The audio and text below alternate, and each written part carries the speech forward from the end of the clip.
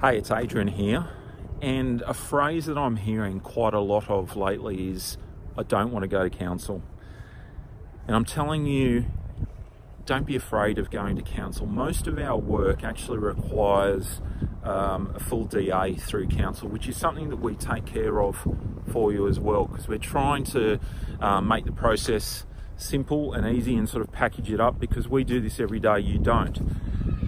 And going to council does have a stigma associated with it because everyone would have heard they've got a friend or a family member that has got some tale of woe. And I'm sure I could bore you to death with all my sob stories about dealing with council. But I think where people are going wrong at this early stage when they're thinking about designing their outdoor living area is they're getting stuck on one point and that's looking at the exempt development checklist that is great if you can design something and it happens to fall into those requirements.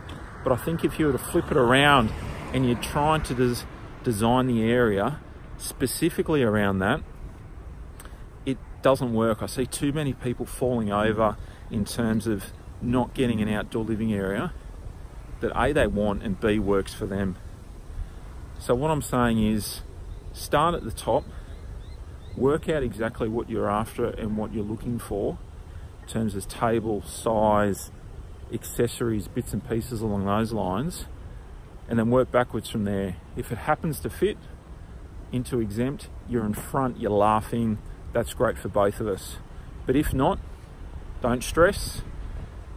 We can guide you through that DA through council and a good designer should make the process or help guide you so if you are going in the wrong direction, they can steer you back.